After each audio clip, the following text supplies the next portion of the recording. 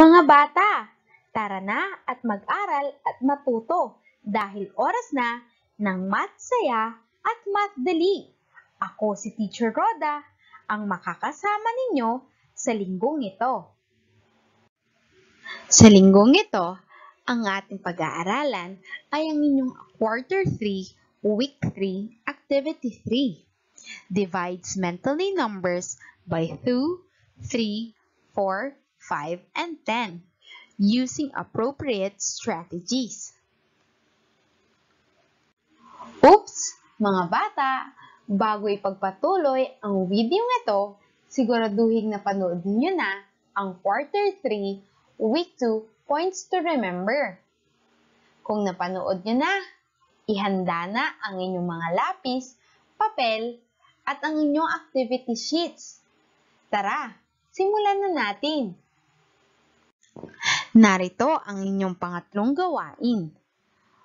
Basahin natin ang panuto.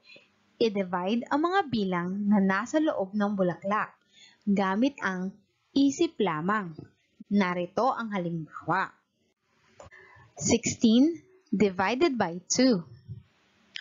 Ang sagot ay 8. Tandaan mga bata, dapat ay isulat ang inyong sagot sa tapat ng dalawang bilang na pinag-divide ninyo.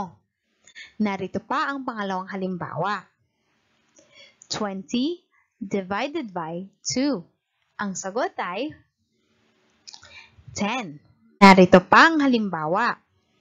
32 divided by 2. Ang sagot ay 16.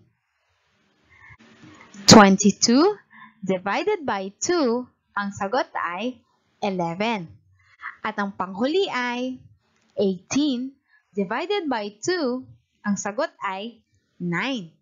Ganun lang kadali ang inyong activity 3. May katanungan ba mga bata? Kung wala, handa na kayo upang sagutin ang inyong activity 3. Dito nagtatapos ang ating pag-aaral.